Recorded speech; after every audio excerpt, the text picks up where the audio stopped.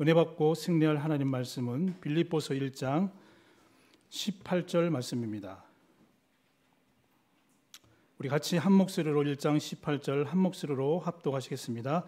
그러면 무엇이냐 거칠으로 하나 참으로 하나 무슨 방도로 하든지 전파되는 건 그리스도니 이로써 나는 기뻐하고 또한 기뻐하리라. 아멘. 아, 신앙 고백하겠습니다. 주는 그리스도시요 살아계신 하나님의 아들이십니다. 아멘. 우리 옆에 분과 인사하겠습니다. 부활하신 주님은 내 안에 있습니다. 아, 다시 인사하겠습니다. 부활하신 주님은 아, 저기 있는 것이 아니라 성령으로 내 안에 계십니다. 예. 아, 읽어드린 본문 제, 아, 말씀으로 나는 기뻐하고 또한 기뻐하리라 라는 제목으로 말씀드리고자 합니다. 나는 기뻐하고 또한 기뻐하리라. 그르토기 찬양집에 보면 사명이라는 가사가 있습니다. 무엇이 나의 마음을 뜨겁게 하는가? 무엇이 나의 마음을 역동케 하는가? 내 안에 있는 영원한 생명이 아닌가?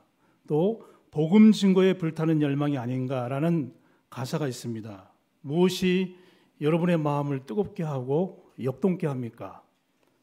남자친구 때문에? 여자친구 때문에? 당연히 그럴 수도 있죠. 그런데 오늘 본 가사 보면 내 안에 있는 영원한 생명, 복음 증거를 복음 증거하고자 하는 불타는 열망이 아닌가라는 아, 가사를 보면서 굉장한 도전이 되기도 합니다. 여러분, 여러분의 가슴을 또 여러분의 그 마음을 무엇으로 뛰게 하고 역동케 합니까? 우리 안에 있는 구원, 우리 안에 있는 복음, 우리 안에 있는 영원한 생명, 또 복음 증거하는 그 불타는 열망이 여러분 가운데 있길 바랍니다. 저는 어느 그 올 초에 교구가 이렇게 바뀌면서 전사님들 바뀌었는데 우리 교구 전사님 중에 한 분이 이제 가까운 데서 먼 거리로 이제 발령받았는데 또 차도 운전하는 것도 미숙하니까 이분이 그렇게 이제 하나님 왜 또 이제 그 뭐 나이도 먹어가고 그런데 왜 이렇게 먼 거리로 어 가게 했습니까?라고 질문하니까 하나님이 양심의 전사님에게 이렇게 말씀하시더래요. 평상시 하던 대로 해라. 어, 평상시 사역하던 대로 해라. 여러분 그 뜻이 무엇인지 모르겠지만 평상시 아, 복음을 위해서 살았던 또 사역했던 전도했던 사역했던 아, 그래서 저도 보면서 참 저런 전사님하고 제가 사역할 수 있다는 것이 내 인생에 있어서 최고의 축복이 아닌가라는 아, 생각으로 이렇게 하고 있습니다. 여러분 오늘 바울은 감옥에 갇혀 있습니다. 갇혀 있고 제한된 삶을 살고 있는데 나는 기뻐하고 또한 기뻐하리라라고 말씀하고 있습니다. 여러분이 잘 아는 것처럼 빌립보서의 주제는 기쁨입니다. 기쁨. 그것도 14번씩이나 기쁨을 얘기하고 있습니다. 바울이 빌립보에서 기쁨의 이유를 어, 세 가지를 들어서 얘기하고 있습니다. 많은 거 있지만 세 가지. 그래서 오늘 제가 원래 우리는 1대지, 2대지인데 3대지까지. 어, 그러나 9시는 안 넘기겠습니다. 걱정하지 마시고 9시까지 할 자신도 없고. 자, 바울이 빌립보서를 통해서 본인이 기뻐하고 또한 기뻐하리라는 그 의미, 그 이유를 세 가지 이유를 들어서 얘기하는데 그 첫 번째가 너희를 생각할 때마다 기쁘다. 아, 너희를 생각할 때마다 너희를 생각할 때마다 기쁘다.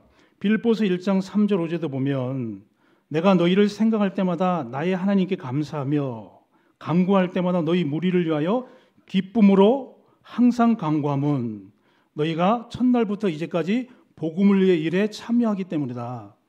바울이 기뻐하는 이유 중에 그 첫 번째 이유가 뭐냐면 너희를 생각할 때마다 다른 말로 말하면 빌립보 교인들을 생각할 때마다 감사하고 기쁘고 왜냐하면 처음부터 빌립보 교회를 세웠고 처음부터 복음을 전했고 처음부터 전도 캠프를 했고 처음부터 복음을 위해서 동고동락을 했기 때문에 그걸 생각을 하면서 기뻐한다고 얘기하고 있습니다.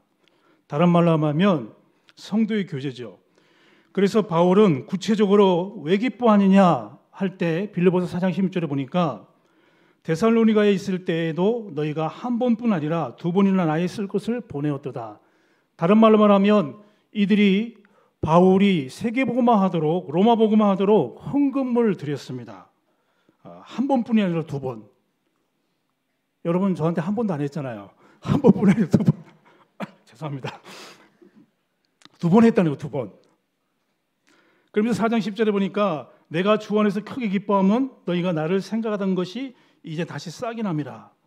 그 처음 빌립보 교회를 세웠을 때 생각날 뿐만 아니라 로마를 위해서 세계복음할 때 헌금했던 그 옛 시절에 그것이 추억이 생각났다는 거예요. 크게 기뻐하면 너희가 나를 생각하던 것 같이 다시 싹이 납니다.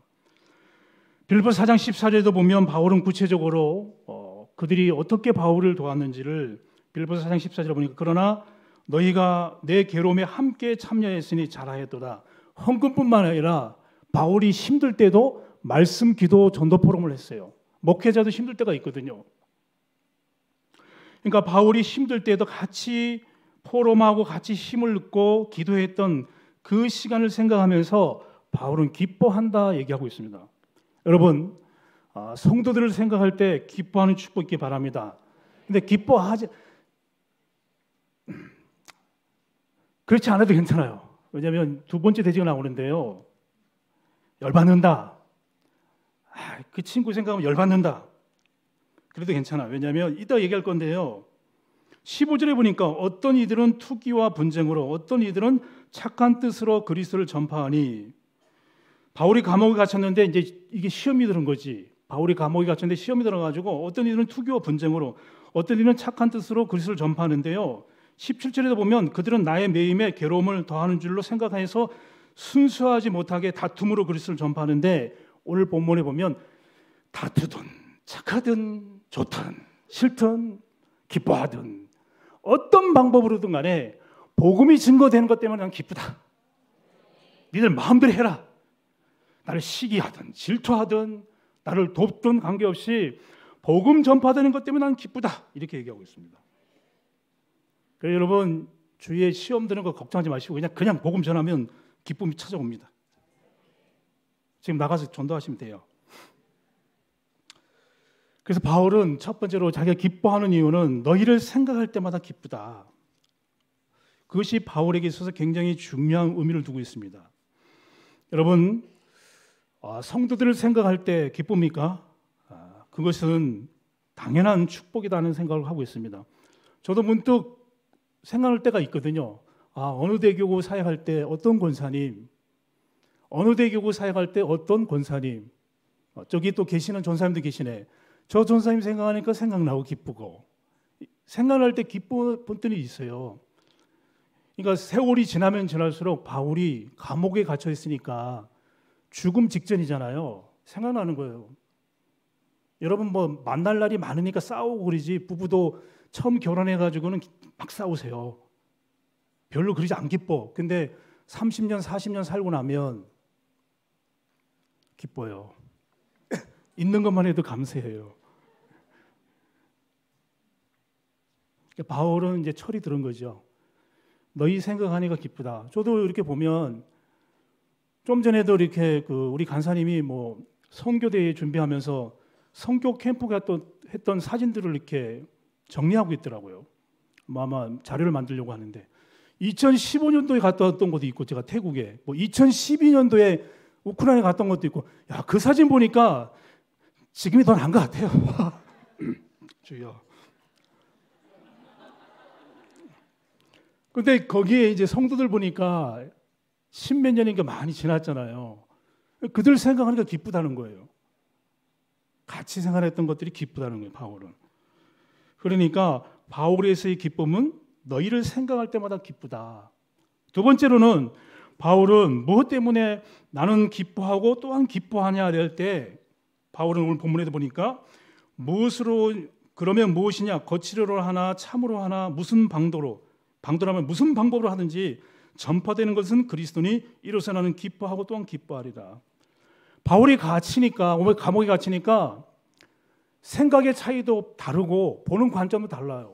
어떤 사람은 아 복음 전하다가 저와 여러분은 일부러도 감옥에 안 갇히려고 하는데 바울은 복음 전하기 위해서 일부러 감옥에 갇힌 거잖아요.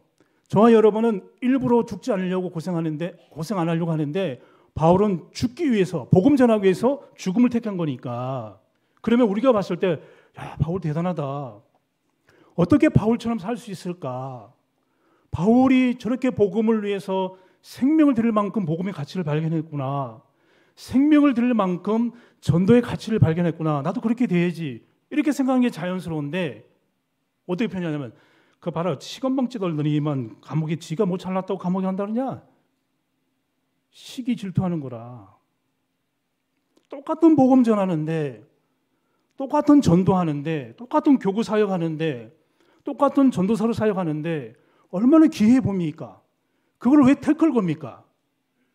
어, 내가 원래 이, 이 컨셉은 아니었는데 왜 태클 걸어요?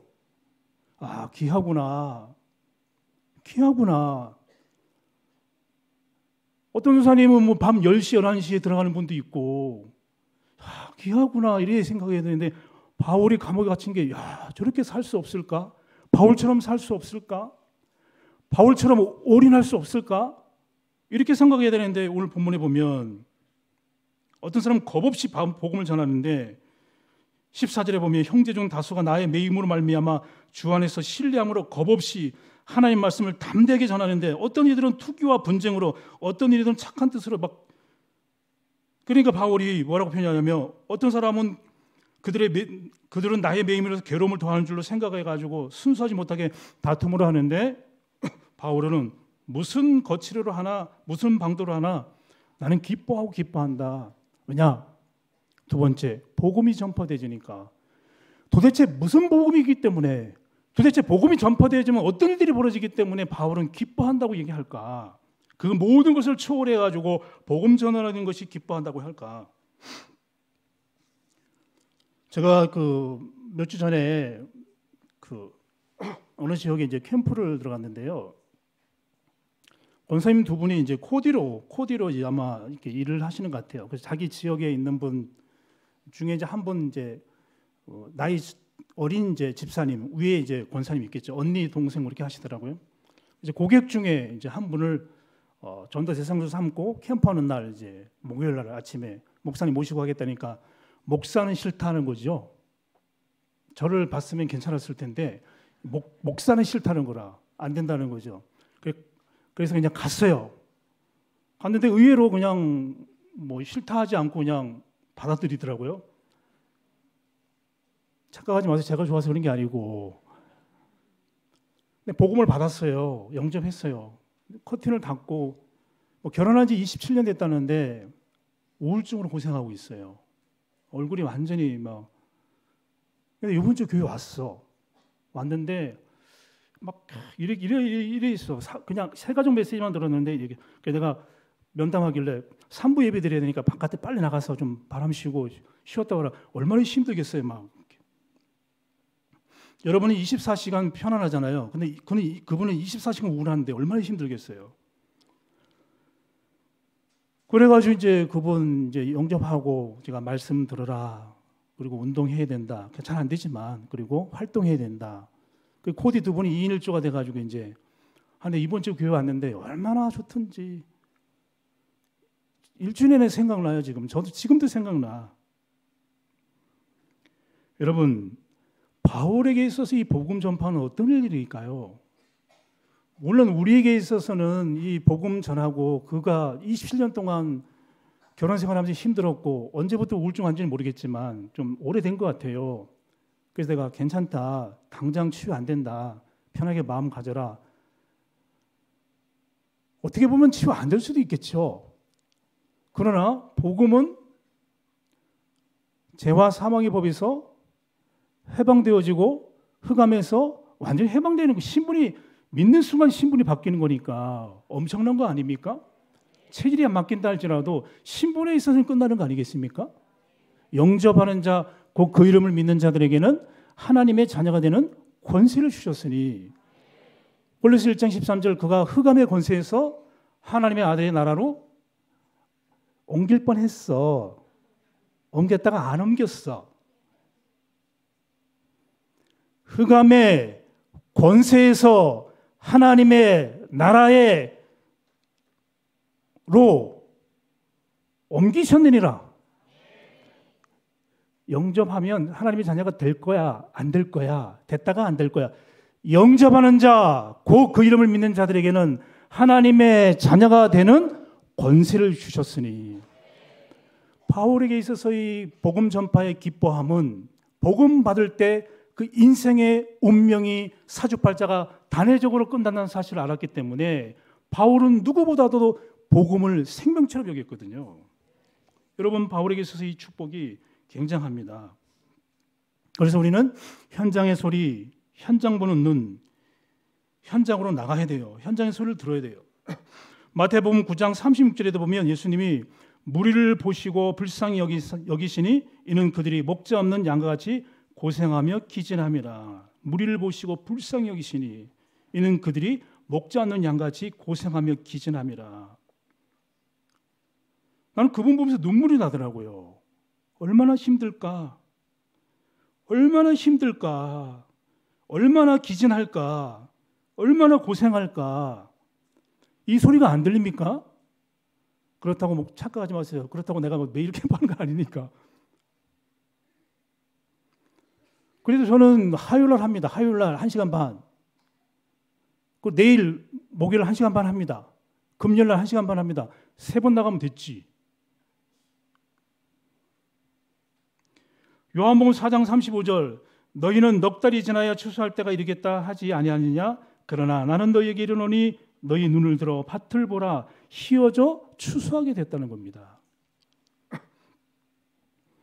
여러분 캠프 나가 보면 이구동성으로 이번에도 그 어제 우리 캠프 했는데 어떤 집사님이 뭐 파주에서 근무하는데 오전에 반차 쓰고 나왔더라고요. 뭐 느꼈냐? 노방 캠프에 보면 딱 다가오는 게 있어요. 노방전도 해보면 딱 다가오는 게 있어요. 아, 평상시 직장 생활이든 학교 생활이든 관계를 잘해야 되겠구나. 그게 1년 걸리든 2년 걸리든 3년 걸리든 표시 안 나더라도 뭐 1년 동안 얘기 안 하더라도 아, 저 사람 복음 전해야지. 내 직장에 있는 사람, 학교에 있는 사람. 관계되어져 있는 사람, 만나는 사람, 우리가 평상시 아무도 없는 거점이 없는 전도해 보면 우리가 만나고 있는 사람이 얼마나 전도 대상자라는 것이 소중한 것을 알게 됩니다. 그래서 바울은 복음 전파하는 것이 기뻐한다는 거예요. 여러분 이사야 40장 9절에도 보니까 바울은 바울이 아니 바울이 아니었네요. 이사야 40장 9절은 바울이 아니라 이사야였네요. 아름다운 소식을 시온에 전하는 자여 너는 높은 산에 오르라. 아름다운 소식을 예루살렘에 전하는 자여 너는 힘써 소리를 높여 유다 성읍들에게 이르기를 너희 하나님을 보라 하라. 소리를 높이라는 거예요. 어떨 때는 착각하지 마세요. 그렇다고 해서 막 전도하라 그런 말이 아니라 그 중심을 가지고 있으라요. 그래서 어떤 면에서는요. 우리가 막 노방 정도 하는 거 저는 저는 한 20년 만에 처음으로 누가 노방에서 예수 천당 했는데 그게 전에는 와 저거 진짜 너무 너무 이상하다 그랬는데 이번에는 예수 선당했는데 오저 소리 저도 보통 소리 아니구나. 왜냐하면 이사야 40, 40장 9절에 보니까 소리를 높여 유다 성읍들에게 하나님을 보라 하라. 유다 성읍들에게 말하라는 거예요. 더 구체적으로 이사야 52장 7절에 보면 좋은 소식을 전하며 평화를 공포하며 복된 소식을 가져오며 구원을 공포하며 시온을 향하여 이르기를 내 하나님이 통치하신다 하는 자의 산을 넘는 발이 어찌 그리 아름다운가. 지구상에서 최고 아름다운 발.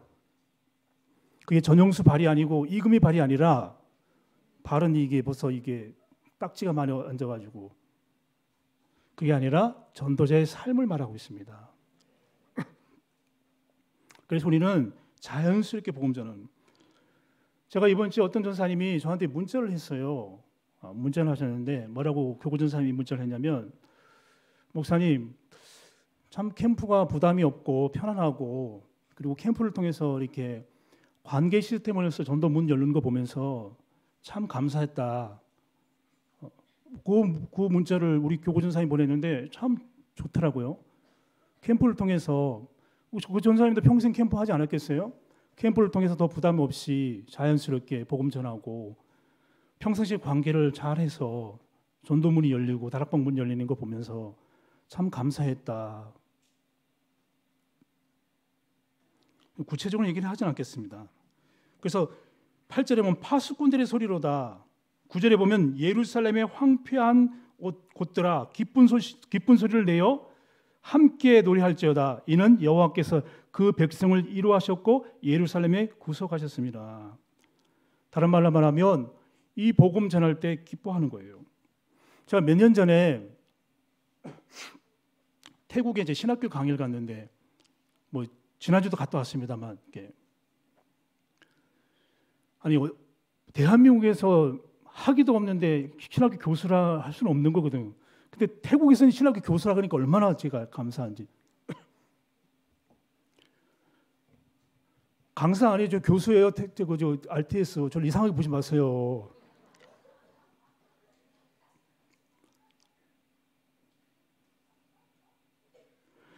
그 이제 몇 년 전에 갔는데요. 송교사님이 이제 그 강의 끝나고 몇 년 전에 갔는데 이제 강의 끝나고 어디 이제 복음 전할 곳이 있다는 거예요. 그래서 내가 아 어디 단체인가 보다. 그래서 이제 송교사님 차를 타고 그때가 38도였나 한 3시간 갔어. 근데 차가 옛날 차라 와 덥고 짜증나고 힘들고 갈등 생기고 계속 갈등이 오더라고. 저는 인도네시아는 편한데 태국은 이게, 이게 불교 나라인지 이게 그래 불교 나라서 그런지 좀 그래요. 태국은 참 편한, 저 인도네시아는 편안하게 이렇게 생각하는데. 그래서 3시간 동안 막 갈등하면서 갔어. 그래서 이제 가가지고 아 오늘 단체인가 보다 하고 있는데 그 뭡니까 골프 치는 컨트리 클럽인데 주방장 그 여자분 한 명, 한 명에게 복음 전하기 위해서 3시간을 간 거야. 속을 열받아가지고 그래가지고 시간이 이제 당장 그것도 만나는 게 아니고 두세 시간 이후에 만나는데요. 잠깐 쉬라는 건 이제 시골이라 시골에 좀 세 시간 내려가 가지고 지방 쪽에 이제 골프장이라 겨울에 한국 사람들이 많이 와요. 나이 드신 분들이 싸니까 아직 뭐 한두 달 막 살다가 가요 그냥 싼 데니까. 그래 뭐 두세 시간 시간이 있으니까 뭐 숙소 가서 쉬라는데 들어갔는데 뭐 니도초라는데 완전 연숙이야. 근데 에어컨이 고장 나가 드르릉 드르릉 이게 돌아가는데 거기서 쉬라는 거예요. 성기사 딱 눕자마자 코를 걸어. 그를 그 에어컨과 똑같이 그냥 에어컨이 드릉 들어가면 성기사도 그릉 그릉 저는 누웠는데요. 힘들고 막 내가 여기 왜 왔지? 아, 정말 힘들다 그때만 해도. 그래가지고 이제 누워 있는데 아, 집에 가고 싶고 있는데 찬양 가사가 생각나는 거예요. 산을 넘고 물 건너 복음 전하는 그 찬양 있잖아요. 전파. 산을 넘고 물 건너서 복음 전하라. 그 찬양 가사가 생각나면서 여기가 어디지? 성교사님들 처음에 왔을 때 그랬잖아요. 지방 순회하면서 지금은 이제 비행기 타고 다니고 그러는데 막 7시간, 8시간, 뭐 열 몇 시간 타고 뭐 치앙라이, 뭐 수라타니, 뭐 사무이 다닐 때 가끔 이제 여관 같은 혼자 그랬을 거 아니에요. 십몇 년 전에 보면 갑자기 일어나면 여기가 어디지? 내가 여기 여기 와 있지? 혼자 있으니까. 그럼 내가 딱 있는데 아니 산 넘고 물 건너 복음 전한다며. 아 그래가지고 내가 그때 회개했잖아요. 지금 가라 그러면 예. 지금 가라 그러면 이제 한국보다 태국이 좋다 그러면 갈 거야. 한국이 한국이 한국보다 태국에 있는 것이 2만 원이 더 된다 그러면 갈 거고 안 된다 그러면 한국이 있을 거라. 야, 여러분 두 번째가 중요해요. 바울은 나는 또한 기뻐하고 기뻐한다는 말은 성도를 생각할 때마다 기뻐한다는 거예요. 그들의 헌신, 그들의 눈물, 그들의 복음을 위한 물질, 그리고 나와 함께 복음에 동참했던 성도들을 생각하면서 눈물이 나는 거예요.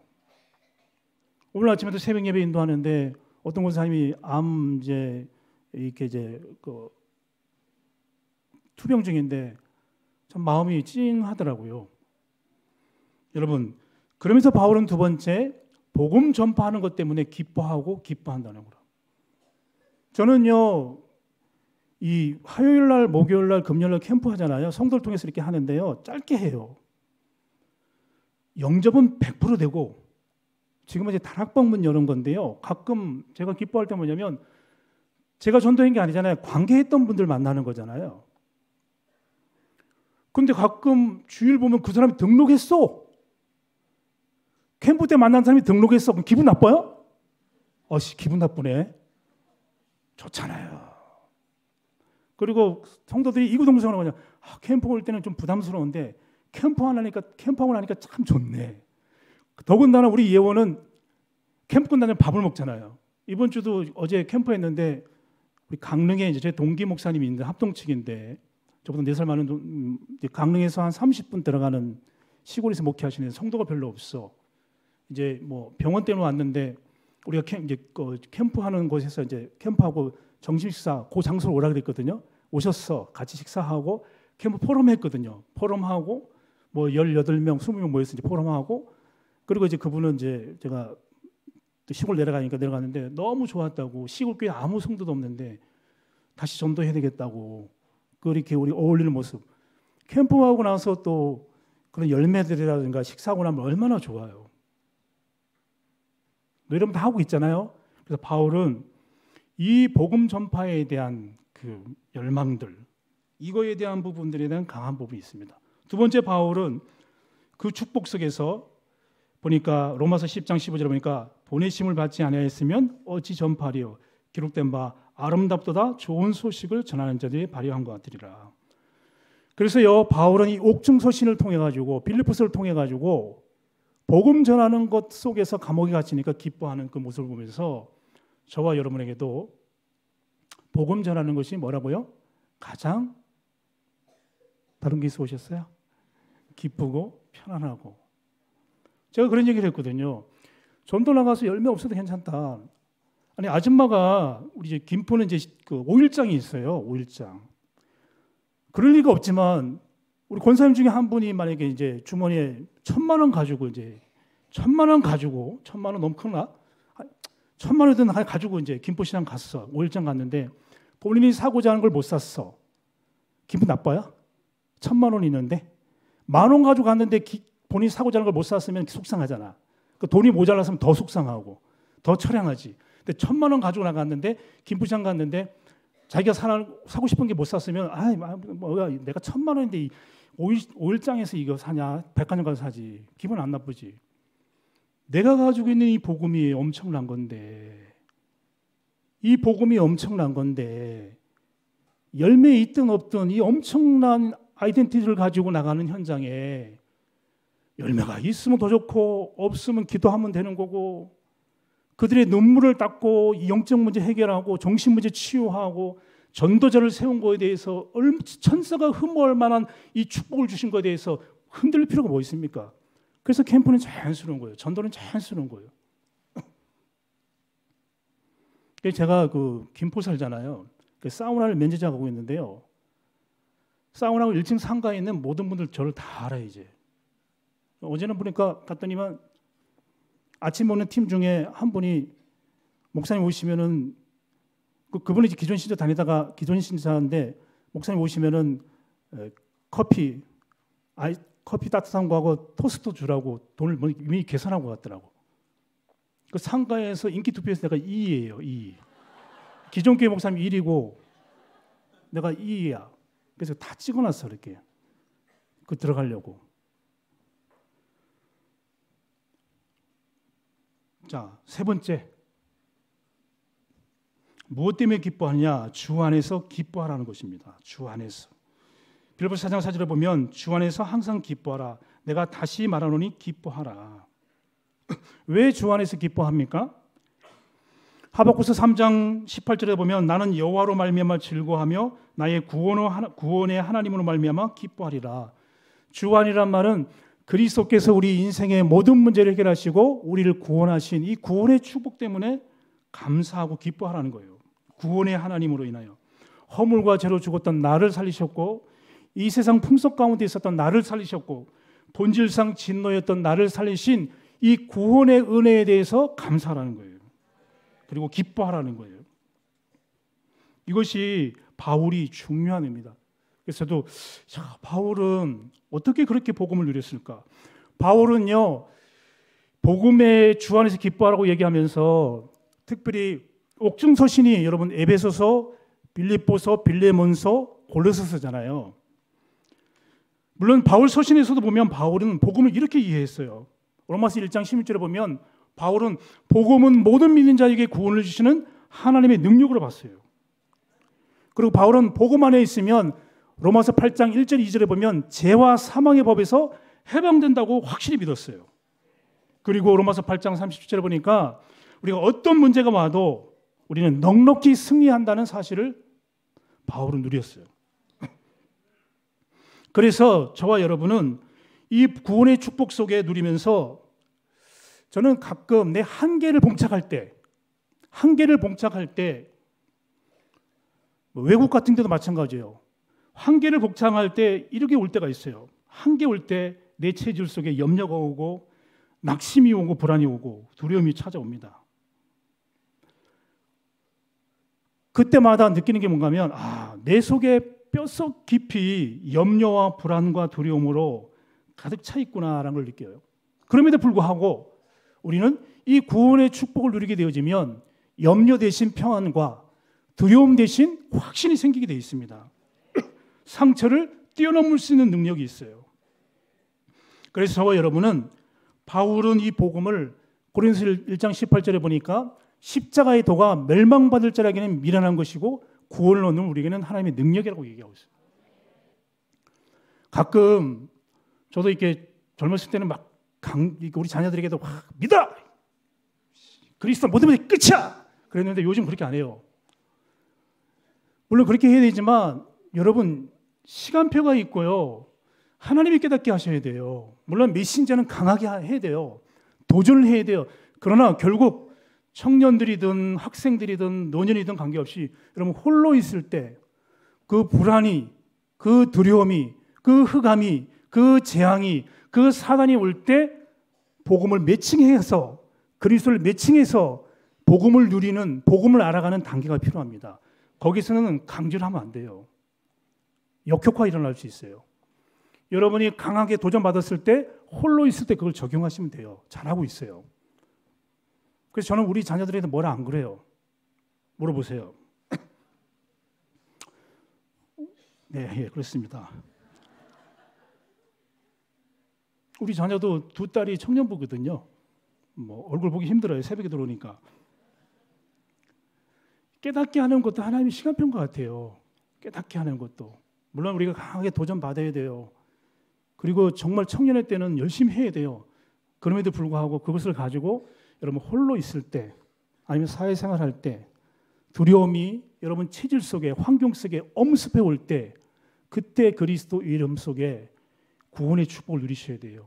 구원이라는 단어가 뭡니까? 근본적으로 말하면 원죄, 사단, 지옥, 죽음 근본으로부터의 구원이잖아요. 그리고 구원을 이룬다는 말은 뭡니까? 이미 되어졌지만 체질 속으로 오는 환경 속으로 오는 우리는 육신을 가졌기 때문에 이 땅은 완전한 하나님은 안 하기 때문에 그 체질 속에 오는 흑암과 불신앙을 이길 수 있는 구원의 능력 그게 이제 완전한 구원의 축복이거든요. 그럴 때 바울은 주 안에서 기뻐한다. 왜냐? 십자가 도가 멸망받을 중에 미라는 거지만 저와 여러분에게는 하나님의 능력으로 구원을 받았기 때문에 그렇습니다. 여러분 갈라디아 5장 1절에도 보면 그리스도께서 우리를 자유롭게 하려고 자유를 주셨으니 그러므로 굳건하게 서서 다시는 종의 멍에를 매지 말라. 이 말은 복음을 누리는 기도하면 되는 겁니다. 그러면 저와 여러분은 완전한 축복 속에 바울이 빌립보를 통해서 기뻐할 수 있는 것은 여러분 옥중 서신을 통해서도 마찬가지지만 빌립보서도 분명히 이렇게 표현하고 있습니다. 빌립보서 1장 2절에도 보면 하나님 우리 아버지 주 예수 그리스도로부터 은혜와 평강이 너에게 가득하길 원한다. 그리고 1장 6절에 보니까 너희 속에 착한 일을 시작하신 이가 그리스 날까지 이룰 거다. 바울은 또 구체적으로 빌립보서 3장에 보면 그리스를 얻었다. 더 발견되길 원한다. 오늘 아침 말씀드렸지만 그 부활의 권능에 참여하길 원한다. 여러분 그 속에서의 참된 축복이 있습니다. 저는 복음을 누리는 축복이 큰 것 같아요. 여러분 얘기하지만 저는 가정적으로 이렇게 좋지 않은 가정이었거든요. 부모님이 일찍 돌아가셨잖아요. 두 살 때, 네 살때 돌아가셨잖아요. 그럼 얼마나 영혼과 정신과 마음과 육신이 연약했겠어요. 둘 중에 하나거든요. 부모님이 일찍 돌아가신 자녀는 둘 중에 하나. 하나는 주먹으로 자기가 살아남기 위해서 강하든지 펀치가 날려드리네요. 강한 거지. 저는 유약한 상태로 그랬던 제가 이 복음으로 지금까지 쓰게 된 것이 여러분 제가 그냥 설교하기 위해서 설교한 겁니까? 우리 목사님 늘 말씀하시는데 제가 지금 여기까지 오는 거 그냥 설교하는 겁니까? 저는 이제 설교하고 싶 그런 설교하고 싶지 않아요. 설교를 위한 설교하고 싶지 않아요. 아, 물론 설교를 위한 설교를 해야 되겠지만 근본적으로는 누리셔야 됩니다. 그리스를 얻고 그 안에서 발견되기로 한다. 바울은 나는 또한 기뻐하고 기뻐하는 이유는 성도들을 생각할 때 그리고 두 번째 복음 전파하는 것을 생각할 때 세 번째로는 그리스도 안에 있는 축복을 누리는 삶이 되어질 때 기뻐하고 기뻐한다고 말하고 있습니다. 여러분도 이미 축복을 누리고 있지만 더 기쁨의 축복 속에 들어가길 바랍니다. 바울은 빌립보서 4장 13절에 보니까 내게 능력 주신 자에서 내가 모든 것을 할 수 있다는 그 복음 속에 깊이 들어가니까 바울이 여러분 감옥에 갇히면 얼마나 두려움과 절망이 있겠습니까? 근데 바울은 그 두려움과 절망이 아니라 밀려오는 평안과 축복이 딱 있는 거라. 어떤 분은 이렇게 그 비행기를 못 한다 그러더라고요. 어떤 장로님 중에 한 분은 이 폐쇄 공부증이 있다는 거예요. 마찬가지로 외국에 처음 뭐, 뭐 외국에 뭐, 뭐 오래 사신 분은 모르겠지만 처음 가는 분들은 한국보다는 외국에 갇혀 있는 느낌이 들잖아요. 맞잖아요. 영적으로도 이사 61장 1절 3절 말씀처럼 어떤 부분에 우리가 포로되어 있고 갇혀 있고 눌려 있다나 이것부터 완전 자유를 누리셔야 됩니다. 완전 자유를 누리셔야 돼요. 그게 복음을 누리는 자, 주 안에서 기뻐하는 자예요. 그래서 하나님이 우리의 체질을 그것 때문에 집어넣는 거 환경을 더 불안 속에 집어넣는 거예요. 더 염려 속에 집어넣는 거라. 테스트하기 위해서. 여러분 차도 보면은 처음 출시된 차들 보면 막 속도를 30으로 60으로 100으로 막 한번 실험하는 거 있잖아요. 팍 해가 충격을 가해가지고 어느 정도 파장이 일어나는 것처럼 하나님이 저와 여러분을 그런 환경을 체질을 문제를 통해서 완전한 복음의 체질로 주 안에서 어떤 문제가 와도 나는 기뻐한다 할 정도로 죽음이 와도 괜찮다. 문제가 와도 괜찮다. 이대로 가면 좋다. 그래서 저는 가끔 묵상기도 하다가 갔으면 좋겠다는 생각이 들 때가 참 많아요. 묵상할 때 이렇게 참 좋아. 이렇게 하다 그냥 눈 뜨니까 하늘이야. 하, 일어나기 싫을 때가 있어. 그냥 갔으면 좋겠어. 그냥 그때 고통도 없이 그냥 어 이 뜨면 괴로워. 자, 여러분 우리가 성도 생각할 때 기뻐해야 돼요. 성도 생각할 때 기뻐해야 돼요. 교육자 생각할 때 기뻐해야 돼요. 그리고 전도할 때 무슨 거치료로 하나 복음이 전파되면 기뻐한다. 그럼 흑암이 도망가지. 세 번째로는 계속 발견되어져야 할 주 안에서의 기쁨. 그 어떤 것도 우리를 가둘 수 없는 아, 죄와 사망의 세방되면 다 끝나는 거 아니겠습니까? 우리는 한계를 가졌기 때문에 그 체험 속으로 들어가야 됩니다. 그래서 바울, 그 축복 속에 그래서 바울은 골로스를 통해서도 하나님의 형상 되신 그리스도가 우리에게 구원자로 오셔가지고 골로새 3장 1절 2절에도 보면 그러므로 너희가 그리스도와 함께 다리, 다시 살리심을 받았으니 위의 것을 찾아라 위의 것을 바라보라고 얘기했잖아요. 저와 여러분이 날마다 주 안에서 기뻐할 수 있는 이유, 복음의 능력, 복음의 누림, 그리고 그리스도의 축복을 찾아내서 어떤 문제 속에서도 그 기쁨, 평안, 누림을 빼앗기지 않는 축복이 있기 바랍니다. 스바냐 3장 10절에도 보면 너희 하나님 여호와가 너희 가운데 계시니 그는 구원을 베풀실 전능자시라. 이 구원은 두 가지입니다. 완성과 구원의 완성과 구원의 누림 속에 들어가는 걸 말하고 있습니다. 너로 말미암아 기쁨을 이기지 못하시며 너를 잠잠히 사랑하시며 너로 말미암아 즐거이 부르시는 그 하나님의 축복 속으로 들어가므로 여러분 저와 여러분이 나중에는 어느 정도까지 들어가야 되냐? 바울처럼 내가 복음 전하기 위해서 내가 감옥 들어간다? 막지 마라! 할 정도 단계까지 들어가야 돼. 예. 결론. 결론. 여러분 저와 여러분 나이 관계없이 물론 우리 청년들은 가만 놔둬도 뜨겁습니다 우리 자녀들 보니까 그래 뜨거워요. 가만 놔도 돼. 청년들은 뜨겁습니다. 60, 70 넘으신 분들, 80 되시는 분들, 여러분 무엇으로 나는 기뻐하고 기뻐합니까? 무엇으로 여러분의 마음이 뜨겁습니까? 무엇으로 여러분의 마음을 역동케 합니까? 나에게 주신 영원한 생명, 그리고 구원, 복음, 복음 전파 때문에 여러분의 가슴이 뜁니까? 그리고 여러분의 마음이 역동케 합니까? 그 축복이 날마다 풍성해지는 축복이 있기를 바랍니다. 그리고 4월 7일 대교구 새생명 초청주일입니다. 말 안 해도 보니까 이미 하나님의 역사가 일어날 줄 믿습니다. 저와 여러분에게 나는 기뻐하고 또한 기뻐하리라는 바울의 축복이 끊임없이 저와 여러분이 있기를 예수 그리스도로 축원합니다.